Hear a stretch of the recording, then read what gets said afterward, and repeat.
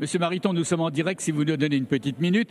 Alors, vous avez brandi ce code civil, vous avez posé la question de la célébration d'un mariage par un maire et de la difficulté que vous, vous aurez. Vous avez même dit on va être ridicule. Qu'est-ce que c'est exactement? Euh, on nous attaque au motif qu'on ferait de l'obstruction. Moi, je pose des questions euh, sérieuses et solides.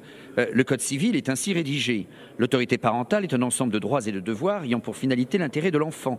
Elle appartient au père et mère jusqu'à la majorité ou l'émancipation de l'enfant pour le protéger dans sa sécurité, sa santé et sa moralité. Je suis maire de Cré dans la Drôme, je vous y invite. je lis cet article et cet article ne change pas avec le projet de loi.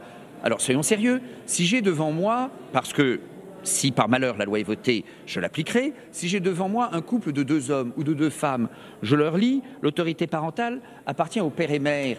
Mais, ils mettront euh, une tarte à la figure. Euh, ils vont se dire de qui se moque-t-il? J'ai en face de moi un homme et une femme.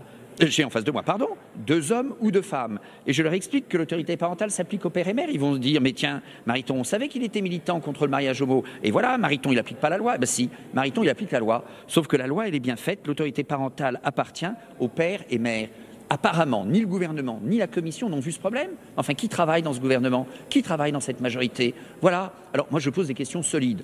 À dire vrai, la ministre a fait preuve d'une extrême distance par rapport au travail de la commission, qu'elle n'a pas l'air de beaucoup considérer. Et s'agissant du groupe socialiste, vous avez entendu la défense, le commentaire? C'était sur les couleurs de mes pullovers. verts.